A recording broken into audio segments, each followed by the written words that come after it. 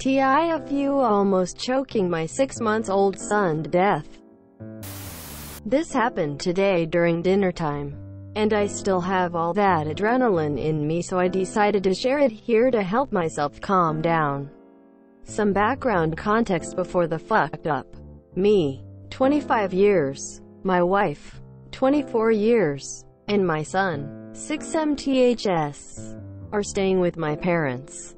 My son has recently started on solid foods, pureed, and he enjoys it. Also, his motor skills has been developing much faster than most babies his age. So, many time we just let him be, thinking he'll be fine. Moving on to the fuck up. During dinners my son would usually join us in his high chair eating his baby bites. Biscuit for baby. It was the same tonight just that he was asking for more this time. So we decided giving him apples might be a good idea since he likes the pureed version. My mom then proceeds to cut a slice of apple. Normal adult-sized slice. We then feed him the apple, letting him suck on it. Then my wife asked my mom to cut smaller so that he can eat it. My mom replied saying that she's worried that if it's too small he might end up breaking it with his gum and choke himself. But in the end we somehow got my mom to cut it into smaller bite size. So, we just continued our dinner while talking about what to do if the baby does get choke. Heimlich maneuver. CPR. Basically topic around those area. Then we hear a tiny apple crunch. He was still happily eating. So we continued chatting and eating. But shortly after my wife shouted for me saying, he's really choking. I turned and saw my son's face turning red-purplish. No sound was coming out of him. I instantly shot up from my chair, removed him from his high chair and tried to perform the Heimlich maneuver for babies, basically mimicking from a vague memory of what I saw on YouTube years ago. And then he coughed and started crying. This was the first time that I'm glad to hear my sons cry. Now I'm having a slight headache from all that adrenaline rush. But I'm glad my son is alive and kicking. Thanks to that random YouTube video I watched years ago. Edit 1. My wife saw this post and she corrected one of my mistake. It was actually my sister who suggested to cut the apple into smaller slices. We just didn't disagree with the idea. Edit 2. OMG. This really blew up I posted this before going to work. I work night shift. It was only about 100 plus upvotes before I left for work and I could still keep up with all the comments while I was at work. I kept receiving notifications. Then I saw 2k upvotes.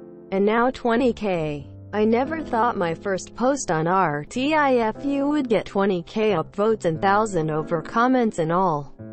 Those awards. Really want to thank everyone for your concern. My son is fine, actively crawling around. Edit 3, I saw some comments about CPR certification. I served the military for two years. So I was trained to do CPR. But on adults, not babies. I only knew about it cause I spend way too much time on YouTube. TL. DR we fed my six months old son some apple causing him to choke. I performed the Heimlich maneuver for babies based on a vague memory of a YouTube video to save him. Oh man, my little girl once choked on one of those gummy treats meant for little kids. Went blue and all. I tried Heimlich and all but eventually just had to reach an AMD pull it out. She was two. Knew she had to chew but just forgot I guess. I cried and just held her for a good 15 minutes at least. Hey up. You should take your son to the doctor to make sure he is alright. My CPR certification has run out, so my info is a little old. But about five years ago I went through a pretty in-depth course. Five months. That's spent a bit on choking babies. Basically, this is true of anyone who requires Heimlich, other choking maneuvers. But particularly for babies. Anytime choking happens there can be throat damage, and the maneuvers to resolve it can cause issues with the lungs or other internal organs. Unlikely, your son has issues. but definitely worth a visit. I'm guessing you'll listen to your mom next time. Smiley face. Glad your son is okay. I'm glad he's okay now. I felt scared even when reading this story. Just of general FYI. Never, ever feed toddlers and small children hot dogs that have not been split lengthwise. A hot dog is the same size as a child's trachea. Splitting it ensures that it does not block the trachea in case of choking. Hot dogs are the most common food they choke on. Get one of these things, a mesh feeder. I'm sure you know this, but with all the adrenaline may have forgotten. Make sure to call your pediatrician to let them know what happened and find out if you need to. Bring your son in to be checked out.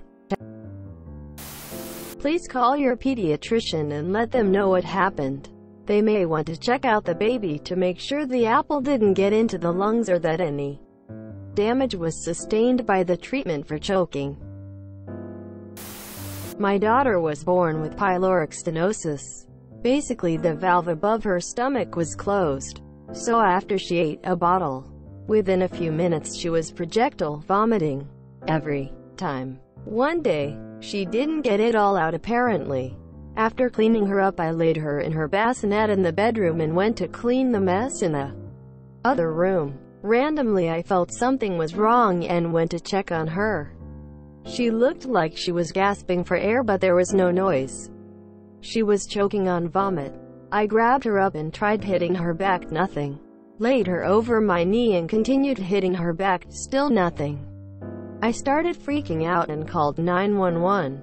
I literally flipped her upside down, holding her by her legs and kept smacking her back while trying to explain to the person on the phone what was happening. She started crying. So did I. The lady on the phone still sent the paramedics because I'm honestly not sure how long this was going on but it felt like an eternity. She said she could have been without oxygen for a long time. Thank God they came, because that was when we discovered it was pyloric stenosis causing the vomiting and that she had actually gotten very little to no nourishment in her entire three months out of womb. Much longer and she would have died. Choking actually saved her life. When things like that happen, some superhuman strength, physical and mental, seem to take over. She's 10 years old now and loves to hear the story of when mommy saved my life, lol no matter how. Many times I tell her I was just doing my job. An apple a day keeps the doctor away, they say. Look into baby-led weaning. They recommend long, thin stick-like slices. Makes it easy for baby to hold and bite. Did it with both my kiddos. Some gagging along the way but that is normal. And definitely never turn your back on an eating baby. Best of luck to you. You have many more near-death scares ahead rolling on the floor laughing. Please take them to get checked. Any choking, especially in babies, can cause scarring and can result in aftermath swelling. Every parent, he is much further ahead than the other kids his age, yeah, okay. Apples are a choking hazard until 4. Please read up on it and other hazards. It's not only the size, but texture and shape. Glad you knew what to do. A toddler choked on apple at a daycare, here in New Zealand. His life support was switched off a few days later when tests revealed there was no brain function remaining. I hate to beat that person but a six-month-old is too young to be dealing with apple as a solid. Even as a parent that followed baby-led weaning I never made that an option. People here will give you enough shit about giving your baby finger food at his age so I'm here. Just for this. You guys made a mistake. Like every parent and especially new ones. That could have escalated to a very dangerous situation. Babies have the tendency to be in danger from the most ridiculous stuff sometimes. But you guys solved it. Like it is expected. And now you have learned your lesson and that's the end of it. You guys are still great parents smile. Glad everyone is okay. Next time use a cheese grater and grate the apple. Works really well. Never do abdominal thrust. Heimlich. On a baby. Back blows and chest thrusts only. Start with back blows. Between the shoulder blazers. Open palmed in a slightly upward motion towards the head. Make sure you support the head. A maximum of 5 blows.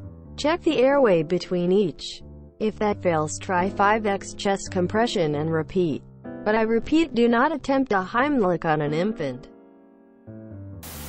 Glad your son is okay. You might think about brushing up on your CPR skills if you're rusty. I read TIFU choking my six months old son to death. If you enjoyed this video, please check out our playlists full of similar content. Epicaricast is like doom scrolling for your ears. Please like, share, and subscribe.